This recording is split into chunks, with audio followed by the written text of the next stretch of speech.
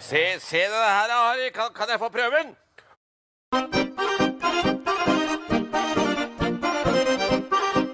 For, nei, det er klart, Han hører jo ikke hva, hva jeg sier, han, når jeg har på meg disse her. Harry, kan jeg få prøve? Harry, Harry, ry! Harry, Harry, ry! Ry! Ry! Ryde!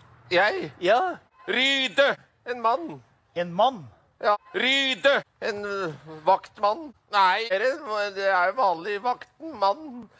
Ja, mer en sånn slags uh, Dyreinspektør, din dust. Nei, nei, jeg mener jeg, jeg, jeg er dust. Ja, det er, det er jeg. I to kommuner, tre, tre kommuner, faktisk. Ja da, i tre kommuner. I Gnu, Gran og, og Furu.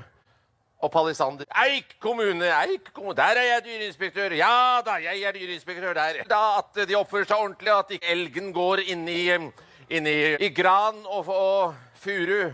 Se der, der satt en veps.